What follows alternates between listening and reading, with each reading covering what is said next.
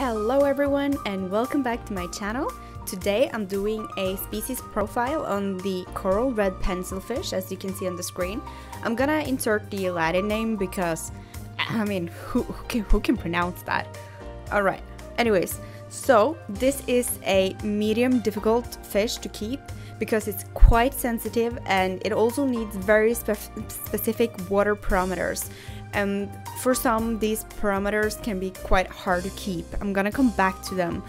Uh, but I mean, look at him. He's so beautiful, even though he has turned his back on the camera.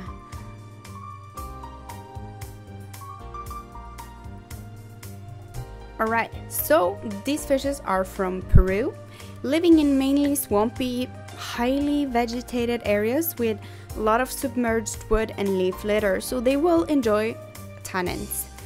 The waters, as I said, would need to keep quite specific parameters, so it will need to be soft acidic water with a pH from 4 to maximum 7.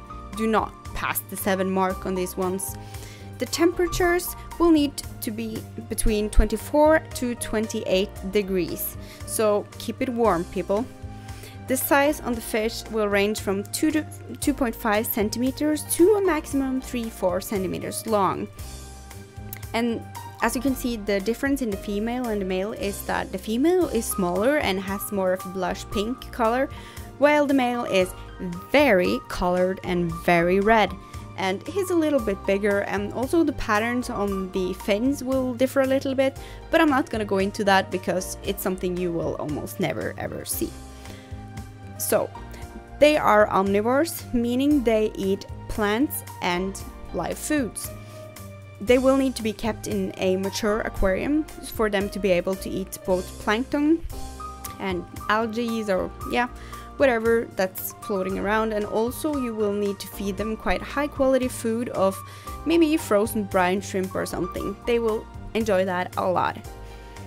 They are a fish that will stay in the mid section of the aquarium and I'm just gonna warn you, they are quite aggressive. These fishes, if you want to see their natural behavior, you will have to keep uh, maybe a group of 10 or more to see their natural behavior. However, you cannot just put 10 of those together in a 60 liter tank. It's the, a 60 liter is the minimum and I would never ever keep a group of 10 of them in them. They are very aggressive as I said, so the males will chase each other to death. And Therefore, you will need to keep mostly females in the tank, and maybe if you have a group of 10, maybe 2 or 3 males at maximum. And you will need to break up the sight in the aquarium by using plants. The fish will also enjoy low circulation and could easily be kept with just a sponge filter. However, I'm keeping them with a normal filter and at a I would say moderate circulation and they seem to be fine with it. Just don't basically blast them away in your tank. Uh, if you're interesting, interested in spawning these, they're quite hard and you will see on my channel I do a lot of videos on that because it's quite hard. These fishes are not easily kept in a community aquarium where you have several types of fishes because they will be little bit difficult to be fed because they will not be the first fish to come to you when you're feeding them. They will be like in the second line. So you will need the food to actually go down to the mid or the bottom of the aquarium. And basically they will need to move as well.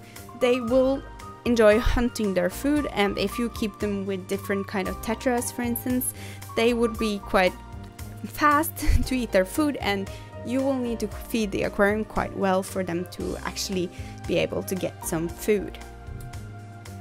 And there's also something I need to address. These fishes are not shrimp safe. They are known for having a tiny, tiny, tiny mouth, and they do, but they will eat those shrimps. And especially the shrimp babies, they will just enjoy eating that as a cool snack. So do not keep this with with fish fry or with shrimps because it's not gonna go too well. They enjoy hunting their food. So, like this video, give it a thumbs up and please subscribe to my channel and I'll see you in the next one. Bye!